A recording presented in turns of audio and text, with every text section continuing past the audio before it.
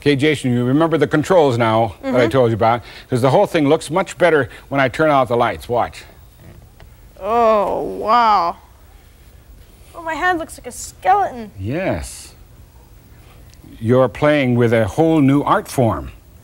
A Really? light sculpture, yes, by Bill Parker. And, and all kinds of weird, sort of weird but beautiful sort of effects. And we'll work the controls that I showed you later. But right now, I think maybe we ought to understand sort of what's going on.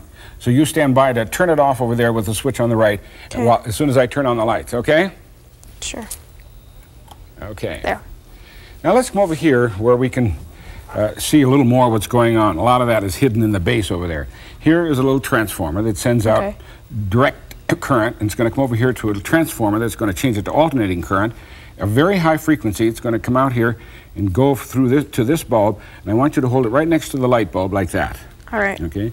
I'll turn, and then I'll, I'll turn it on, and you won't see much until I turn the lights out again. Okay. Okay. Here it comes. Okay. Now watch Whoa. what happens when the lights go out. So it's filling it. Well, see, you're sending very high frequency electricity through the glass, which is something like over there, but then you're also sending it through the gas inside, and there's probably nitrogen inside that light bulb, so you're making the gas glow. I see. If you hold it right there for a, for a while, the, the high energy of the electricity is strong enough to actually burn a hole in the glass. Wow. See, see if you can tell me when you've burned a hole in it by watching the uh, color of the, of the glow.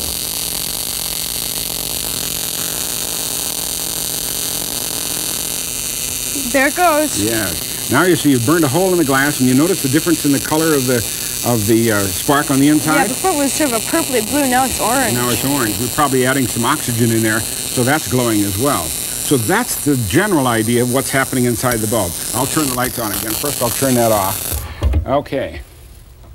Now let's go back to the globe, because the same sort of thing is happening over here, except much higher frequency, up in the radio range, and also Bill has very carefully worked out. He was a physicist who was working with various kind of plasma and various Really? kind of radio energy. So he experimented with the kinds of light that would be produced when these high energy uh, electromagnetic waves went through various kinds of gases. So inside each one of the bulbs of these sculptures is a specific combination of very rare gases So a different one might look different. might look different, right? Then he also designed it so that the radio frequency can be changed in frequency, as well as remember I told you this knob over here Yeah. has the thing that makes it go on and off, sort of strobe effect, mm-hmm. and then the other knob actually changes the amount of energy that goes into it, the power, so that you can make it go almost go off and then go on again. Wow. Then the last one, you remember what that was for? Yeah, that turns um, makes it makes it go through a cycle of different patterns. So let's turn off the lights and begin to play with it. Turn it on. Okay. Now try try the uh, the slider that makes it sort of strobe. Sure. Okay. Take your hand away once. Keep going. There, now you get a flashing effect. Okay, Seems like it's going on and on. right. Now try the next one in which you can vary the, the, the total amount. Put that one back up so it's on. Then try try this one over here. To, I'll do it. Okay. It's getting dimmer. Yes, it's getting dimmer. Notice there are actually three effects. One is the center.